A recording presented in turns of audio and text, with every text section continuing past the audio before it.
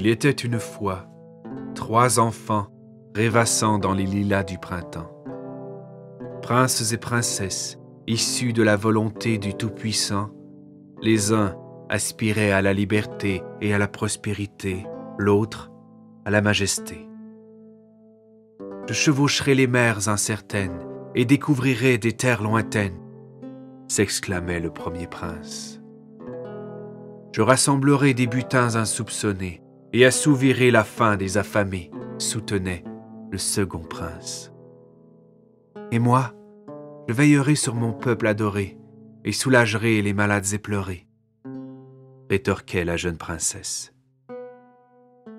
Au gré de ces promesses irraisonnées, princes et princesses en appelaient à leur destinée. Sous le ciel azuré et l'œil muet des chevaliers, ils chérirent leurs ambitions et en firent leurs dictons. L'été succéda au printemps, puis l'automne et l'hiver à l'été. Année après année, le parfum des lilas fleurissants embauma les rêves des trois enfants. Vint alors le printemps, où les enfants devenus grands ne furent plus présents pour humer le parfum enivrant. Le premier prince, épris de liberté, s'embarqua pour une dangereuse épopée, tranchant les flots tel un ancien héros. Le second prince, avide de prospérité, rassembla l'élite fortunée, repoussant la disette de sa cachette.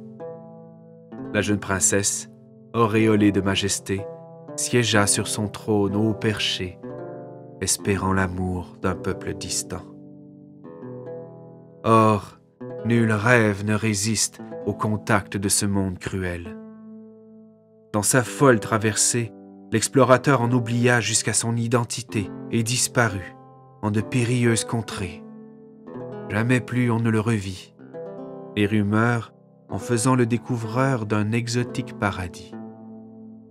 Le prétentieux négociant, déboussolé par sa propre renommée et l'éloignement de son frère adoré, osa prétendre à la vérité et contester l'unique royauté. Murmurant, ourdissant et conspirant, il tissa une toile de mort dont il ne tirait aucun remords. Malgré son sang protégé, il vit sa fin arriver sous la lame d'un poignard acéré. L'incertaine princesse, désormais reine des âmes sous le céleste, apprit la solitude et la lassitude. Quel amour trouvé dans la vicissitude d'une vie voilée par le devoir et le désespoir, d'une vie enchaînée dans l'ombre de son roi. Famine, guerres et morts furent son lot, autant d'épreuves infligées par le Très-Haut. Seule elle était, seule elle resterait. Il était une fois un explorateur et une reine, pleurant leurs frères sous les lilas du printemps. L'un aspirait à la majesté, l'autre à la liberté.